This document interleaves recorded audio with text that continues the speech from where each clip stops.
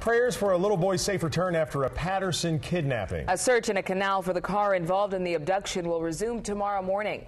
And we have this exclusive new details about the suspect's past from his roommate, including about his drinking habit. It's all new information we've learned since 6 on the search for four-year-old Giuliani Cardenas. We have team coverage. The night team's Damani Lewis starts with information you'll only see on the night team about the alleged abductor.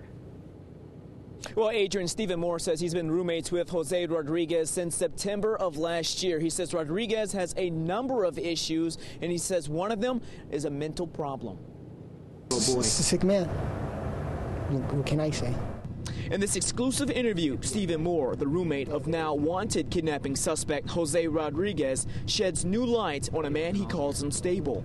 Just wasn't there mentally. Rodriguez is wanted in connection with abducting four-year-old Giuliani Cardenas. KCRA has learned Rodriguez worked at this Patterson frozen vegetable plant as a sanitation worker for at least one year. Rodriguez has an extensive criminal background, including a 2002 conviction of involuntary manslaughter. He served a year in jail and three years probation for attempted unlawful sex with a minor. Rodriguez also pled guilty to two DUI charges, the most recent in 2009. Just an hour before the kidnapping, cameras caught Rodriguez buying beer from this gas station. He thought alcohol was the answer. All his.